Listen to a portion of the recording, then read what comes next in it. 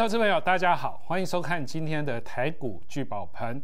好，首先呢，我们先回到大盘，大盘呢今天跌了一百四十八点，那盘中呢一度重挫了一百六十点，而且呢，呃，今天盘中呢有跌破这个万六关卡，那尾盘呢，呃，这个点数又拉回，所以今天收在一零一零六一万六千一万六千点。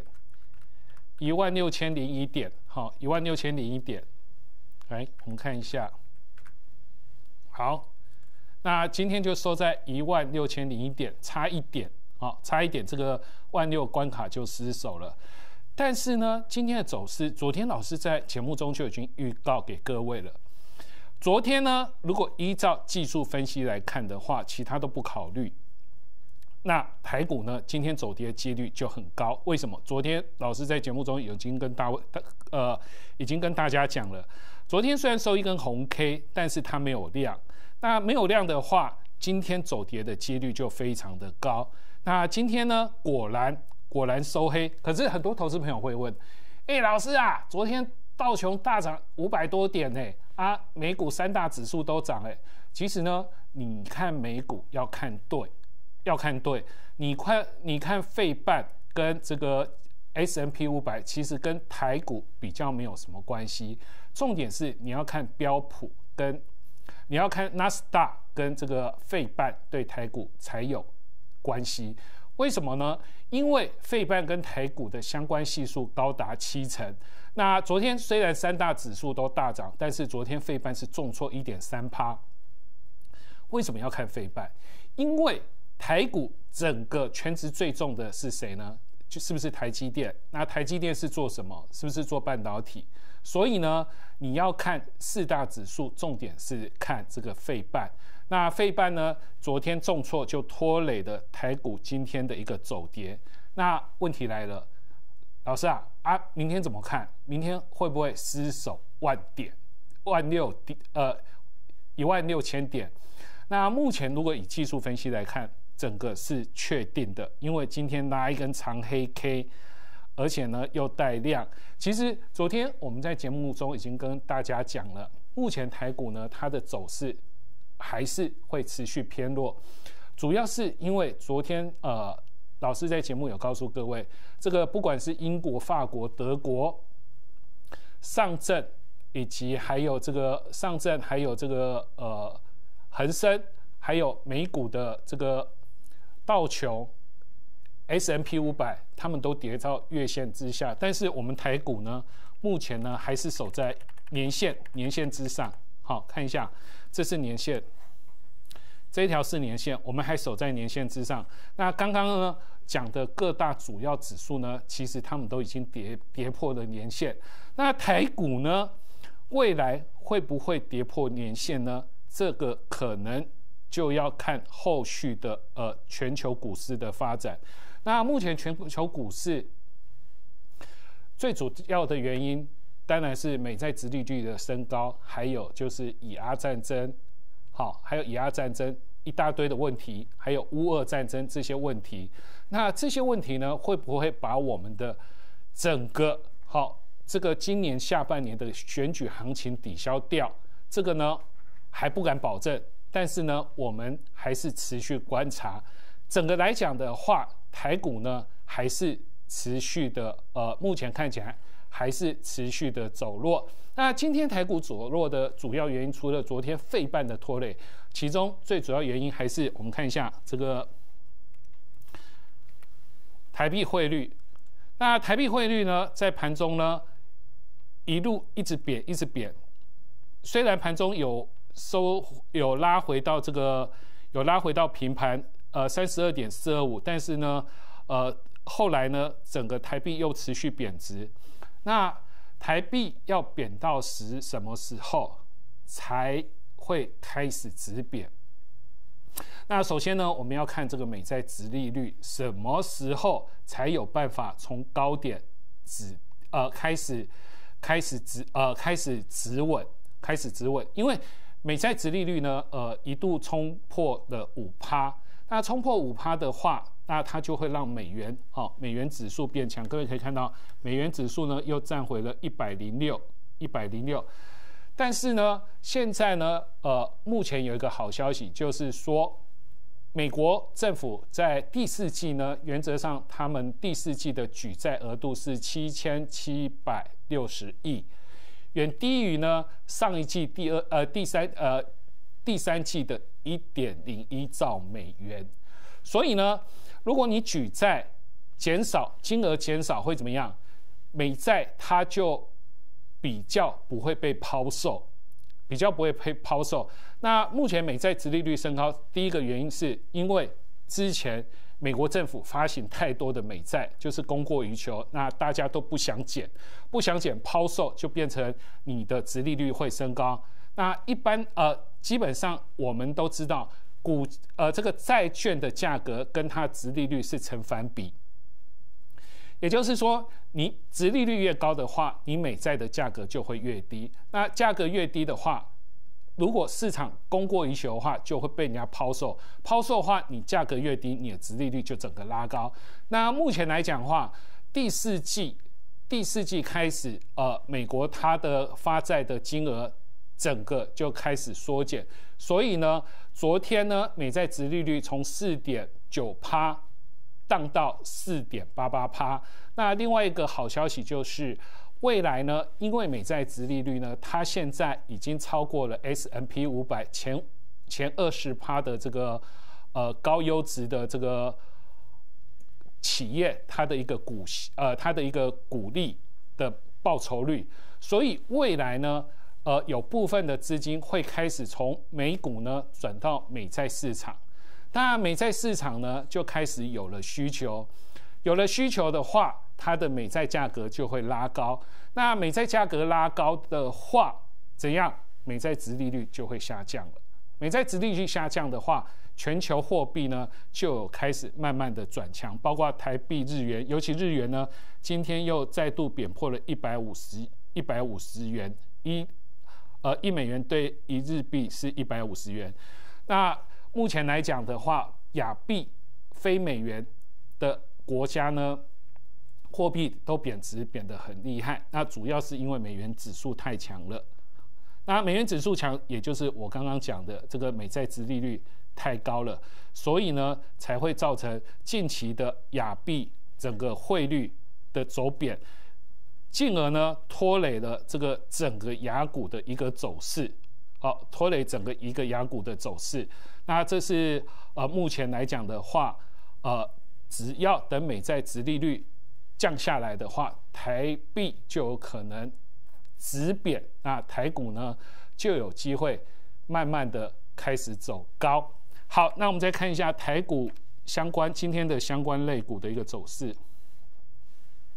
那今天呢跌的最重的，我们看一下，今天跌的最重是电脑周边。好，今天跌的最重是电脑周边，今天重挫了四点四九趴。那我们可以看一下，昨天呢，那 Fidia 这个 AI 大哥啊，昨天它是收涨哦，它昨天是收涨一点六三趴，但是相对我们今天电脑周边来讲的话，它是重挫四点四九趴，甚至比这个半导体相关类股跌的还很重。昨天呃，刚刚我们讲过，费半昨天重挫一点三趴，但是呢。AI 大哥昨天是涨，可是呢，今天电脑周边呢是往下走。为什么会发生这个原因呢？最主要的是，呃，第一个，今天 AMD 超维呢，它今天在美国盘后将要公布它的财报。那要公布它的财报的话，基本上整个市场呢。开始会比较保守观望，看今天的 AMD 走势怎么样。所以预估呢，部分的投资人会先把资金退回来。那第二个呢，是跟这个消息有关。目前来讲的话，今天的新闻有讲，就是辉达北美 AI 大单全部呢都给红海吃。那第一个呢，我们可以看到这个北美地区的辉达呢，最高阶 H 一百 AI。它的一个伺服器的模组订单全部都交给红海，那预计呢将在墨西哥、台湾还有美国等地开始生产。第二个，目前这个辉达 B 一百的模组订单呢，后续也传出来交给红海去做呃订单丢给红海，但是这个消息还没确定。不过大概呃目前看来，红海有机会把整个 B 一百的模组全包下来。那再来这个 AI 模 AI 晶片模组是整个伺服器它供应链里面中毛利最高的产品，所以有机会可以提升红海它整个毛利率。那红海呢？它目前呢，在美国、墨西哥，在全球都有它的一个工厂，所以它拥有这个全球布局、全球布局的优势，所以可以降低它的地缘政治的风险。这个主要是因为最近红海呢，它被大陆查查查账，所以造成我们看一下红海，红海它这一阵子股价的重挫。不过之前我们在节目中也有预估预告大家，就是说红海呢，红海呢应该在这场这个所谓的政治事件应该会提早的呃落幕。那好，那回到刚刚为什么 AI 会重挫？那第一个除了今天 AMD 呢，它要公布财报，市场呃把资金退回来观望之外，那未来红海它占的这个。所谓 AI 订单到底有多少？市场也在持续观望。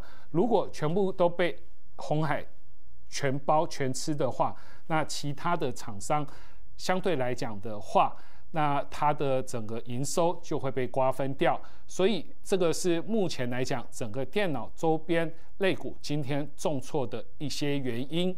好，那今天呢，红海呢？今天收了收了大概呃两趴吧，对，两趴。今天收涨了两趴，那终于呢开始止跌，开始止跌。那红海它之前跌破了一百之后，股价就一路下挫。那今天呢终于止跌，不过各位可以发现到今天的量能不足，表示呢市场对红海目前来讲。并不是十分肯定这个订单是不是完全给红海吃，所以目前市场呢，呃，一半一半就是投赞成票，红海未来的这个营收会增加。那另外一半的话，就是还要再观察。红海除了这个消息之外，另外一个消息是它在大陆的工业妇联呢，昨天发布了第三季消息。那第三季呢，呃。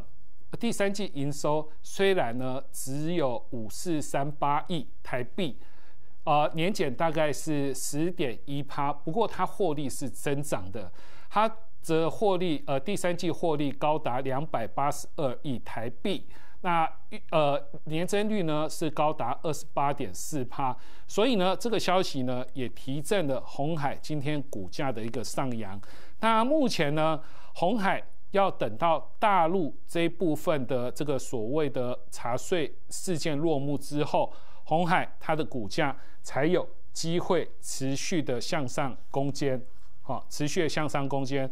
好，再来呢，今天还有一个重要的消息，就是苹果呢这个秋季展已经开始发表了。那今天早上八点呢，以 screen scare scare face。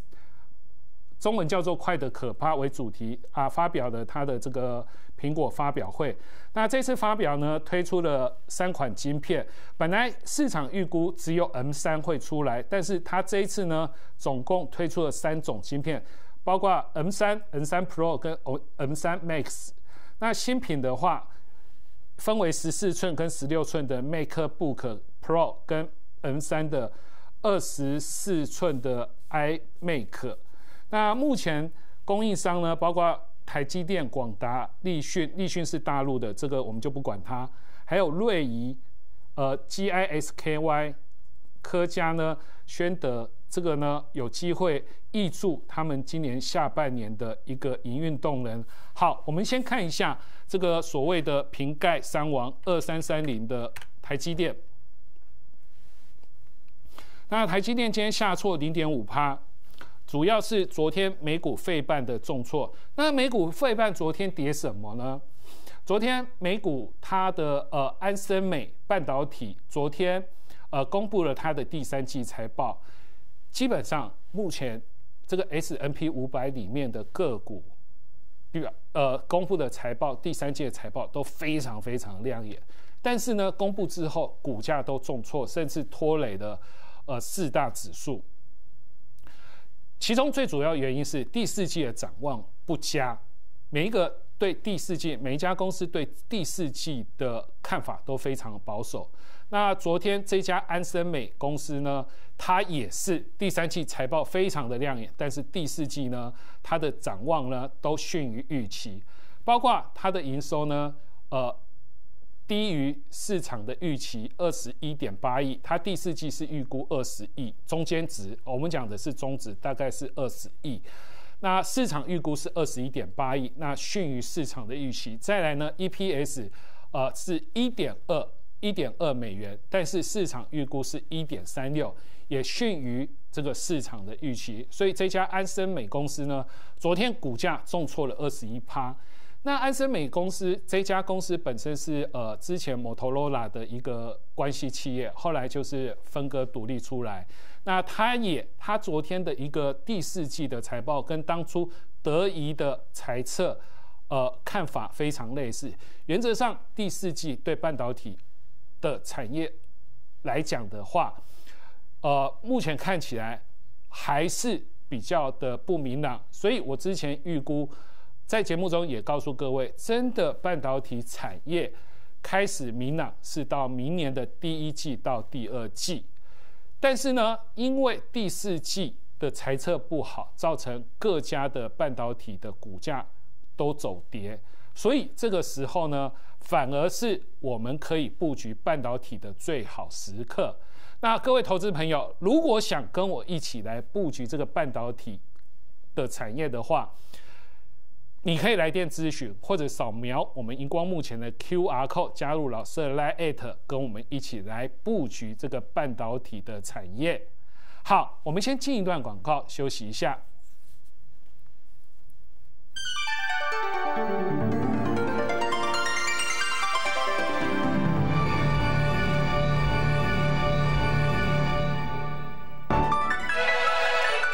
SBN 财经台。你还在看吗？三三三轻松付专案，让您轻轻松松变成赢家。你还在看吗？三三三轻松付专案，让您轻轻松松变成赢家。轻松付专线零二八五一二五八五八。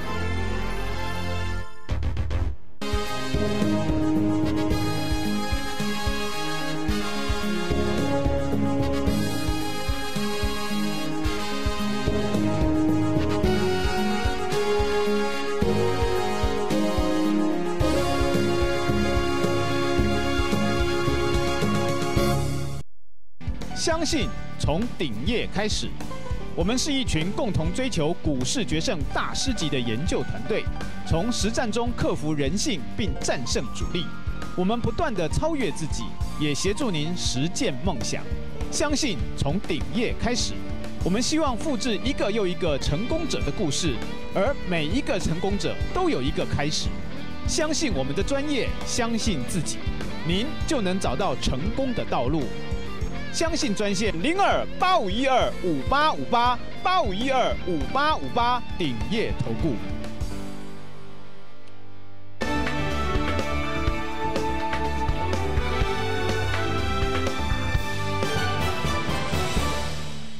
看全球财经台，除了家中有线电视之外，您还可以这么做：网络影音平台 YouTube，能上网就能看，而且免费。改变收视习惯，就从全球财经台开始。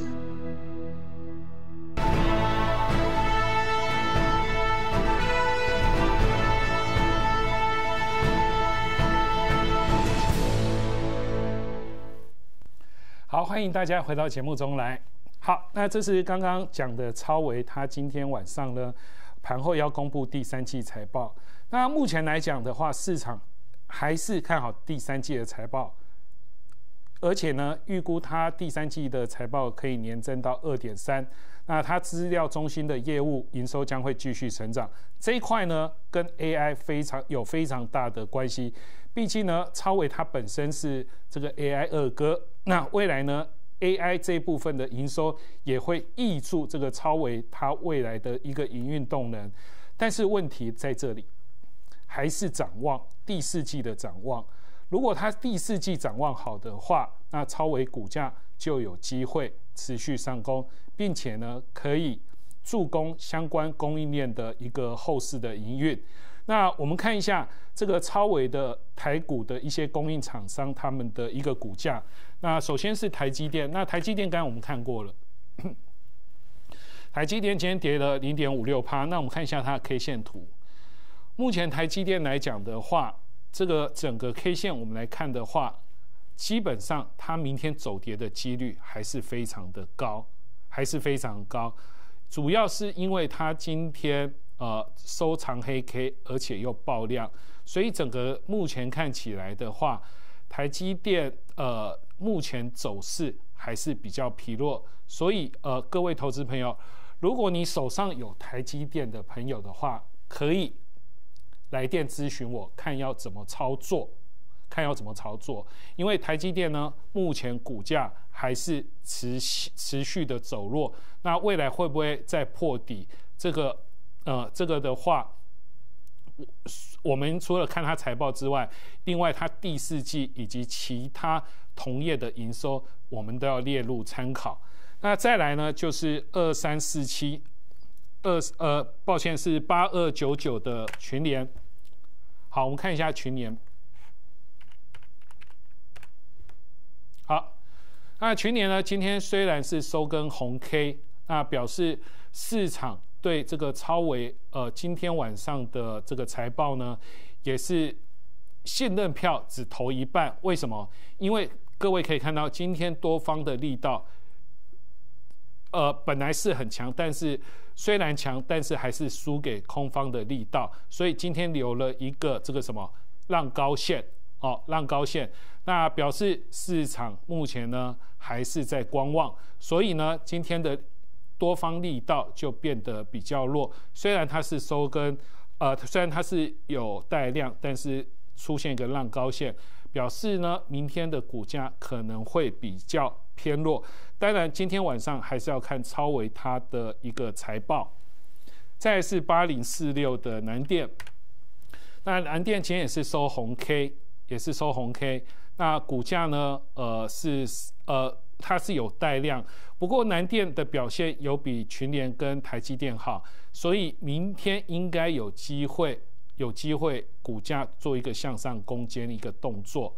好，那这是呃关于这个 AMD 它的今天晚上财报的一些一些动向。好，接下来看一下我们手上操作的个股。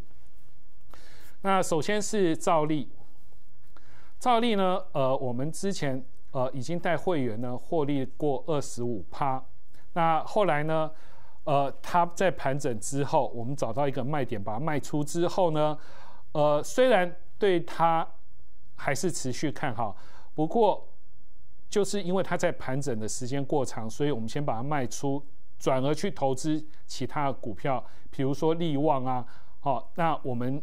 后来发现它买点又出现，重新又进入。记不记得在这边，在这一天虽然收一根大黑 K，我在节目中有告诉各位投资朋友，我们在这一天呢又加码，在这一天又加码。为什么？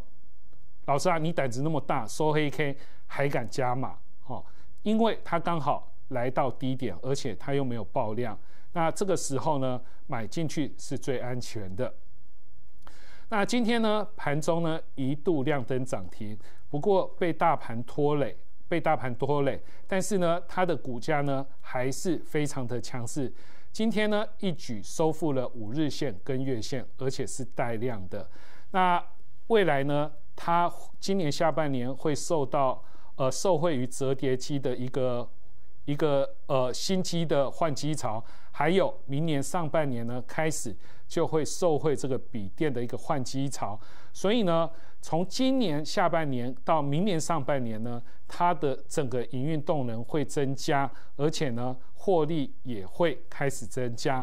那在营收获利增加、获营收跟获利增加的情况下呢，有机会带动它的股价持续的向上空间，而且呢，它目前的本益比只有二十四倍，非常的低。它同业平均本益比呢是四十四倍，表示它未来的股价呢还是有非常大的上涨空间。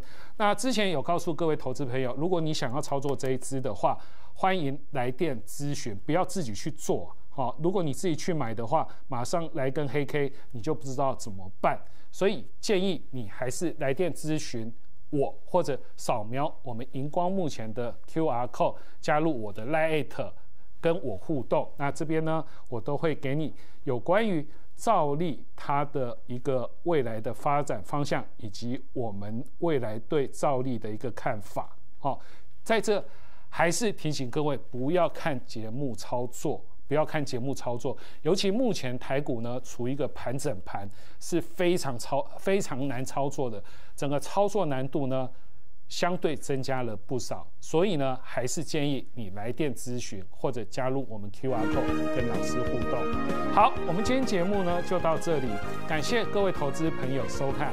各位投资朋友，如果持股上有任何问题的话，欢迎来电咨询或扫描 Q R code 加入。我的 Lite，让专业团队帮助你。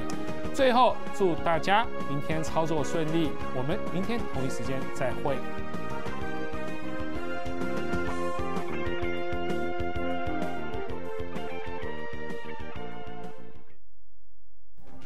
本公司与所推介分析之个别有价证券无不当之财务利益关系。本节目资料仅供参考，投资人应独立判断、审慎评估，并自负投资风险。